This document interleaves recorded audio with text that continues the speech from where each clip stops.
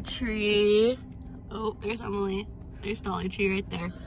And we're about to get some materials to make our sand and water sensory table. Yes, we are. we're gonna get, we're looking for sand, a bin, and some loose parts to put in our sensory table. Yeah. See you in there.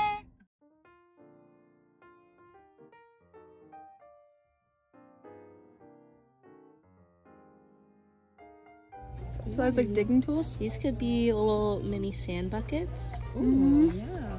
There's like multiple, so a lot of children can have some. Yeah.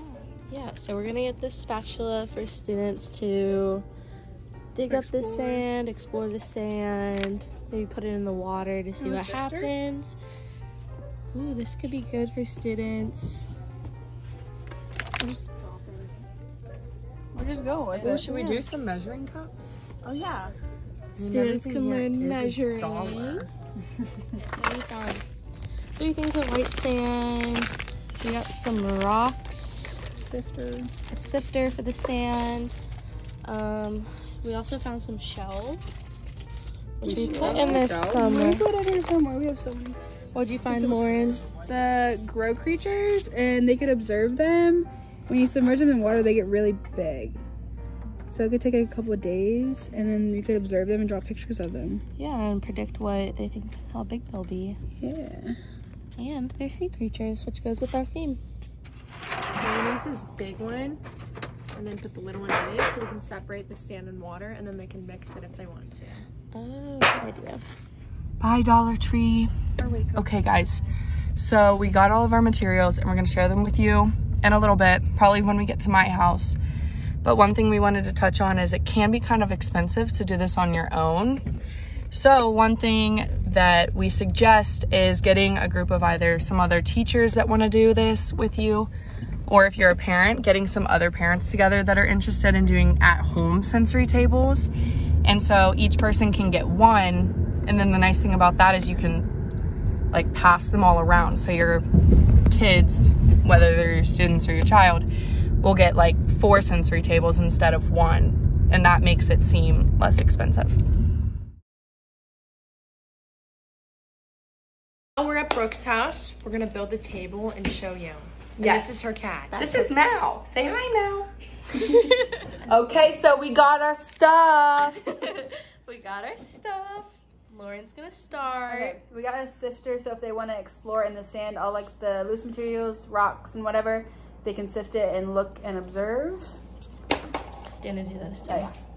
Um, and then we talked about these at the store, but we got the grow fish, and there's a fish, octopus, something, and then a stingray, and then starfish, starfish, and they grow in water. So and it takes a few days, so they'll probably just like observe and look at them throughout the days, and it'll help with their cognitive ability. Yeah, and then we got these clear like marbles and we were gonna put these in the water. So they can like get a scooper and scoop them out in the water and they're good like texture to add and yeah they can fish it out. And then we got some shells. They're very natural expected on the beach so we'll place these around the sand and they can look at the texture of all of these and observe them Okay, so I have these little like scoop cup things, which they can use in the water or the sand to scoop up the materials. And then we also got like these colored rocks for them to play with, which they can scoop up with the sifter or with these.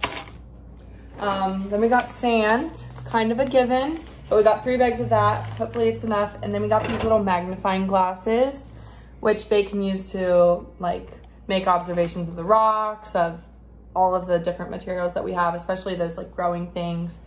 They can like see what's different about them each day. And then this, um, it's like got a shovel and then like a rake and then something that the sand will fall through. Like, I don't, I think you can see it, yeah. The sand will fall through, but the rocks and stuff will stay above.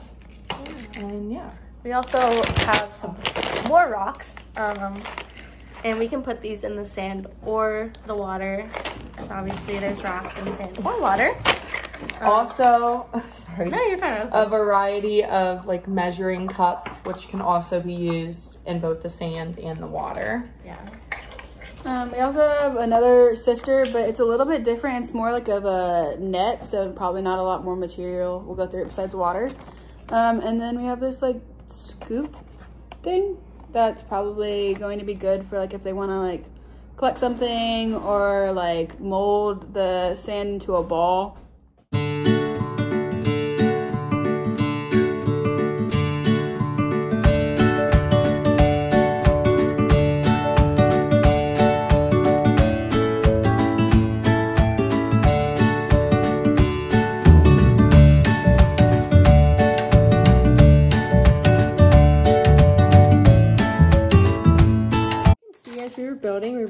nets are really good to keep for the children to like put the stuff on top of and the water or the sand will go through.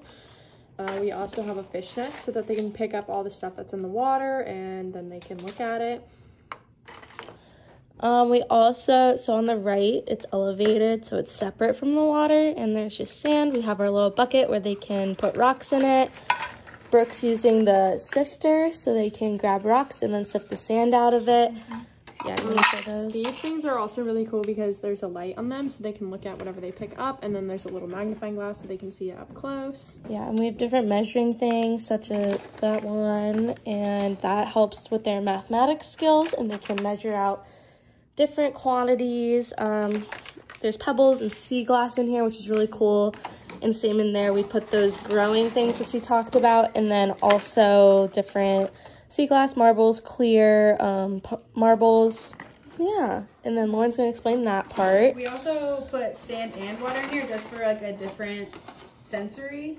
Um, and we realized if we put it in that, I feel like it would just like get all messed up. So we added a third bin. Um, this probably would be best to do outside just because it probably will get messy with water. Um, but we like incorporated all different like rocks and pebbles and shells in all three bins just to like kind of incorporate them together. Um, we also put sand and water in here to show like the differences. Um, and like you can use like the light just to see like the differences and observe it.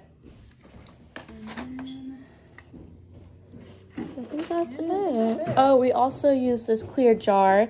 So the shells that we bought, put them in a that kind of container, and I feel like that's really good to incorporate in the water section. They can fill it up and test volume.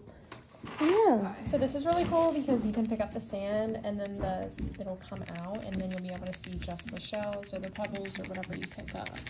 So I know this is, looks kind of chaotic uh, with all the materials, but we can take the sand out and have a bigger water pit if we need to. And then like all these materials will be more spread out. And then we can just put the sand one on the side. But we just figured it'd be better if they were like right next to each other even though it does make the container a little bit smaller. Okay, now we're to talk about the importance of a sensory table. And so I'm to talk about how it promotes social development, social skills, and creativity and imagination. So a lot of children are going to find these materials attractive. They like the water, they like the different textures of it. So I think that it really promotes them practicing sharing the materials and with these they can have conversations it sparks um, different conversations with them and they can talk and converse with each other about um, how to use it and different observations and Brooke's going to talk about how the teacher is probably going to be more of a facilitator and not be as involved and because the teacher is the facilitator, I feel like the students are more inclined to use their creativity and imagination. So sensory tables promote inquiry by exploring different materials. There's a lot of different materials in our bins, um, a lot of different textures, like Sydney said. Um, they also raise a lot of questions. I know with water, there's um, buoyancy involved. So like we put a ping pong bottle and there's other materials that don't float. So they can ask like why one floats, one doesn't um, certain things like um, the clear little bins they talk or they can, you can talk about um, why the water goes to the bottom and the sand stays on the top. Okay I meant to say sand's on the bottom water's on top. Um, you can make observations about those things as well. Um, you can describe them. You can observations and raising questions go hand in hand. If you have a question you can make observations to answer them or talk to a teacher about it do experiments um, or even talk to your peers. Working collaboratively with like others is very important during a sensory table and um, promotes inquiry. And then also listening to new perspectives and like explanations from other children and teachers can also promote inquiry. So sensory table also has lots of opportunities for like math and science concepts. So like as you can see with the mixture of the sand and the water, you can kind of see like density and how they separate because the sand is more dense than the water. Um, the measuring cups also allow for like more math because you can be like measuring the water and that kind of thing. And then there's also opportunities for like buoyancy with like the balls or like even the jar floats and like the marble sink so they're not buoyant and things like that. Okay. Like So, depending on how children decide to interact with the sensory table, it can align with a lot of the different theorists' views. For example, Maria Montessori believes that learning and play should be child led based on their own interests. And a sensory table is good because it's definitely something that a child can do and interact with on their own. But it can also be something where a teacher comes in and helps guide the, the learning. And that goes along with Vygotsky's theory on social constructivism. So we also found like a DAP statement that goes along with sensory tables and it's that children are active learners from birth and are constantly taking in and organizing information to create meaning through their relationships, interactions with the environment, and their overall experiences. That's, that's about us.